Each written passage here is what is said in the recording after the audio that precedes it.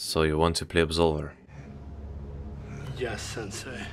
If you haven't had the chance to play Absolver and you're into martial arts, this is pretty much a must buy, especially considering it goes on sale very often for only 5 V-Bucks. And if you are still not convinced, I asked some Absolver veterans for what they like about the game. And this is what they said.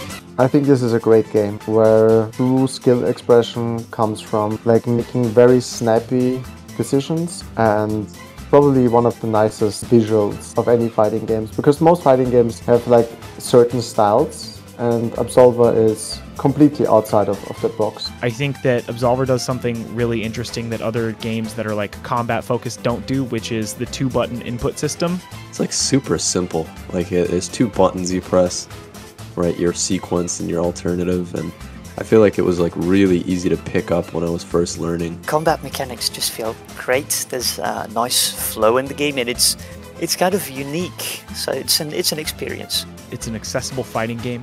If you ever wanted to play like fighting games, it's essentially the fighting game for people who don't play fighting games.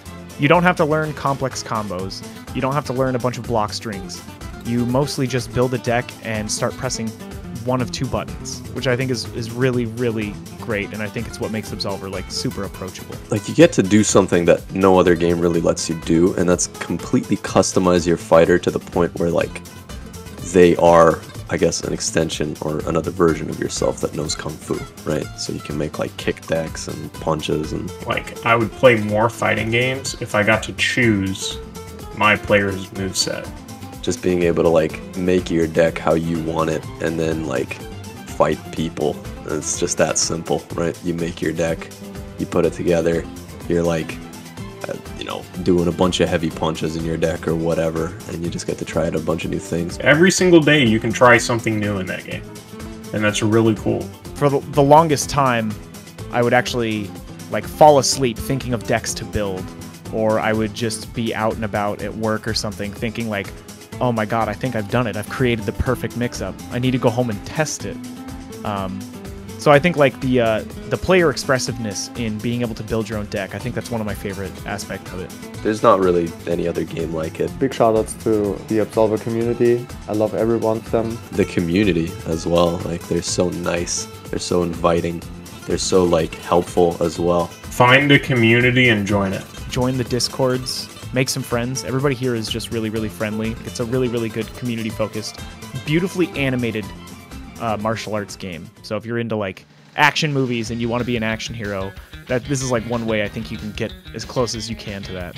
You're much better off like going out of your way to look for people to play with rather than to like just jump into CTs. Like Absolver gave me a lot more than any other other game, like community wise. Just try and engage with the community, honestly, I think is like the best course of action when it comes to uh, starting this game out. Like if you want to get serious about the game, or not serious, but you know, get much more out of the game. Just know that there are a heft of resources on the subreddit and in discords if you want to get good at the game or if you want to uh, figure out how to do anything specific in it. If you get the game, just find a community.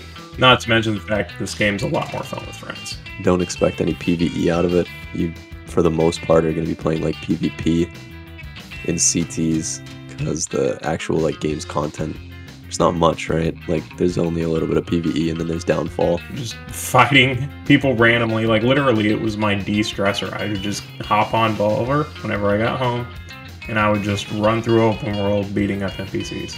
And I started fighting people online and it was just a completely different experience. You know, fighting an actual person aside from an NPC, it was a lot harder. And I realized that I really didn't know at all what I was doing and I didn't until I eventually befriended somebody on Steam and they were talking to me, and it was uh, Sir Alter, and then he invited me to uh, to his Discord, and then I was training with all the EU guys because they were there. They were giving me pointers, tips, things I needed to change, like stuff like that. Don't get too frustrated if you lose at first. It's still a fighting game because a good player will just blow you up and don't get discouraged. We all had to go through that um, scenario to get to the top. But it's fun to get blown up sometimes, you know? Uh, sometimes uh, you can enjoy a good L, but you can work your way up towards getting the wins. even against the best people. Like if I see a new player, I want ideally for that new player, I want that new player to beat my ass in like six weeks. Like I want them to fucking destroy me. Like just they, I want them to 10-0 me. Watch my tutorial video so you're not lost in CTs. Buy the game so SloClap gets more money and uh, so they can just repair the game without losing. Play Absolver. Just play it. Just play Absolver. It's fine. Just fucking play it. But yeah, uh, definitely try the game out and uh, most of all, if you do, have fun.